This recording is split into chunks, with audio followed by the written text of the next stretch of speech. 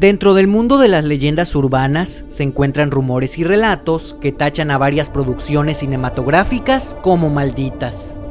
Ejemplos hay bastantes, El Exorcista y Poltergeist, por mencionar algunos, pero ¿qué dirías de una maldición tan grande que incluso trasciende un rubro como el cine y se polariza en ámbitos tales como el cómic y la televisión? En este pequeño segmento seremos presentes de una leyenda que involucra al aclamado superhéroe Superman, una serie de fatídicos acontecimientos que dieron pie a satanizar la franquicia, tachándola incluso de maldita. Sin más por el momento, disfruta de este video.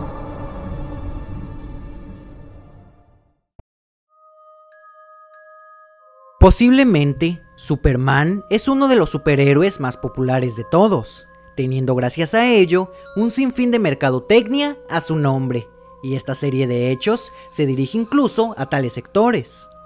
Esta serie de eventos escalofriantes, o al menos trágicos, rodeó el contexto del personaje desde su invención, pues sus creadores fueron tristemente timados. Jerry Siegel y Joe Shuster fueron dos dibujantes aficionados, ambos muy exitosos y llenos de talento, los cuales en 1933 dieron a conocer la historia sobre un hombre sobrehumano, un ser indestructible ajeno a este planeta.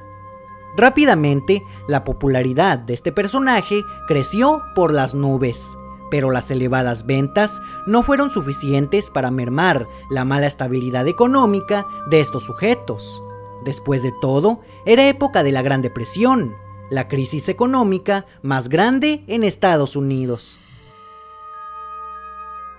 Debido a ello, la multiconocida empresa DC Comics vio una oportunidad grandísima para adueñarse del personaje, y más pronto que tarde mandó a sus mejores abogados para hacerse de él.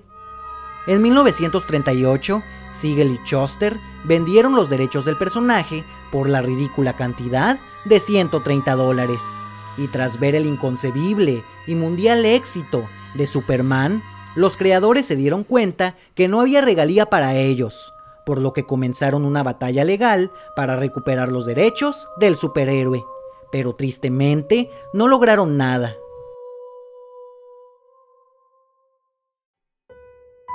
A partir de aquí, comenzaron a ocurrir un sinfín de eventos muy inusuales alrededor del icónico héroe.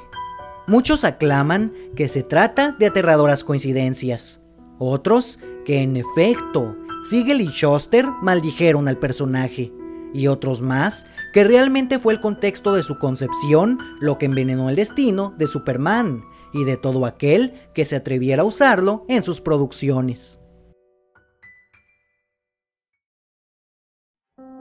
Debido a su creciente popularidad, no pasó mucho para que la primera película de Superman llegara a los cines, y en 1951 esto se hizo tangible con el actor George Reeves de protagonista, y fue tanto el éxito que en 1958 se produjo una serie basada en tal largometraje, en la misma línea temporal ya antes trazada, dando una creciente y arraigada fama a Reeves, pues se volvió en el Superman de carne y hueso.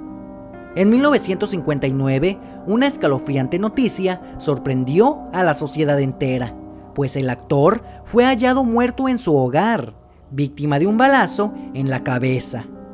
Hasta la fecha, este incidente es considerado un suicidio, pero los retractores aseguran que Reeves tenía una cantidad de droga en la sangre suficiente para imposibilitarlo a tan aterradora acción, dando pie a un sinfín de teorías conspirativas.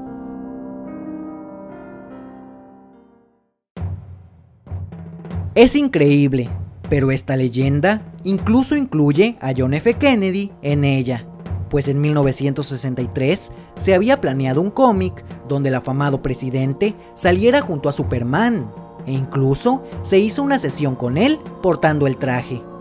Como sabrás, meses después sufrió de un horrible altercado que puso fin a su vida, por lo que ese cómic nunca salió a la luz a modo de respeto. Alrededor de los años 40 se diseñó una radionovela y tira de caricaturas sobre Superman, y el locutor Bob Collier tomó la batuta de este proyecto. Años más tarde, específicamente en 1966, el actor aceptó retomar su personaje en una nueva caricatura, en una época en la que aún no se hablaba de la maldición del kryptoniano y donde los extraños fallecimientos de Reeves y Kennedy eran considerados totalmente aislados. Poco tiempo después, la fanaticada se impresionó de escuchar la noticia sobre la imprevista muerte de Collier, el cual había muerto por complicaciones en el aparato circulatorio. Sin embargo, el verdadero terror de portar el traje del hombre de acero apenas se haría presente, pues fue en una saga específica en la que los hechos horribles ocurrieron sin cesar, dando la mala fama a la franquicia acuñando el creciente rumor de la maldición de Superman. Por el año de 1975 se comenzó a rumorar una nueva película del Kryptoniano, la que daría inicio a la posiblemente más popular saga de todas, la cual poseía de protagonista al actor que será por toda la eternidad el Superman por excelencia, Christopher Reeve. Por esos días, los creadores del héroe aún andaban en peleas legales, y al saber sobre tal película, Siegel exclamó, Los editores de Superman mataron mis días, ahogaron mi felicidad y estrangularon mi carrera. Ellos son unos asesinos económicos, monstruos cegados por el dinero. Por lo tanto, yo maldigo esa película. ¿Quién diría que años más tarde tal deseo se haría realidad?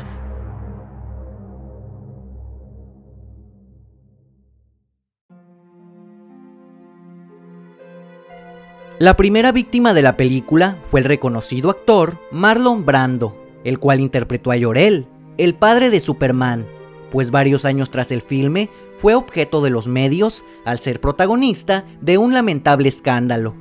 Su hijo mayor había asesinado al novio de su hija embarazada, y ésta se había suicidado por la desdicha.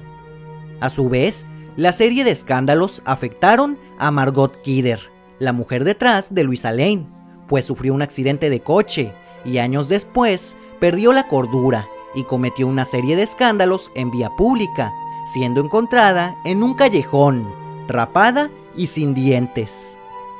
El bebé que interpretó a Superman murió a los 14 años por sobredosis, así como el comediante Richard Prior, que se separó de su mujer, cayó en las drogas y se vio postrado en una silla de ruedas hasta el final de sus días, o el director Richard Lester, que en 1989 se cayó de su caballo y murió de una hemorragia interna. Todos estos son escalofriantes ejemplos de la maldición. Aún así, la tal vez más trágica historia fue la del protagonista, Christopher Reeve. En 1995, este cayó de su caballo durante una competencia de equitación. Tras ello, quedó cuadraplégico y postrado en una silla de ruedas hasta su muerte en el año 2004, una tragedia muy dolorosa.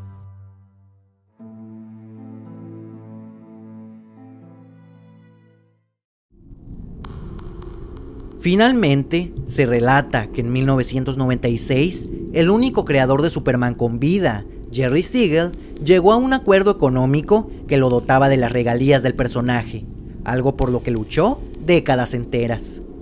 Poco después, esta persona falleció. A partir de aquí, la maldición se fue, o al menos eso se cree, pues películas como Superman Regresa y El Hombre de Acero, o series como Luisa y Clark o Smallville, no se vieron afectadas por ninguna tragedia, por lo que muchos, hasta el día de hoy, siguen creyendo que fueron los creadores los responsables de toda esta aura negativa, llena de muertes y sucesos horribles. ¿Meras coincidencias?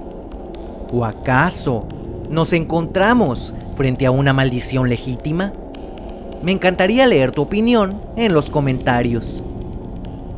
Si este segmento fue de tu agrado, me ayudarías mucho dando like y compartiendo. Muy buenos días, tardes o noches, sea cual sea la hora en la que hayas visto este video. Muchas gracias por tu atención.